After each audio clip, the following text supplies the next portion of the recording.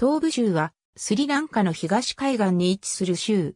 州都はトリンコマリー。住民はタミル人、ムーア人、シンハラ人に分かれる。東部州は1987年のインドスリランカ協定に基づき、1988年9月に暫定的に北部州と統合され北東部州となったが、2007年に再度切り離され、東部州に戻った。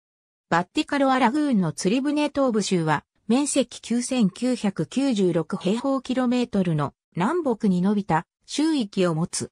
北で北部州、東でベンガル湾、南で南部州に、西でウバ州と中部州、北中部州に接している。東部州の海岸線の大部分はラグーンとなっている。大きなものとしては、バッティカロアラグーン、コキライラグーン、ユパーラグーン、アラコリーラグーンが存在する。東部州は3つの県から構成されており、州内には45の郡、1085の GN 地区が含まれる。2012年時点の東部州の人口は155万1381人。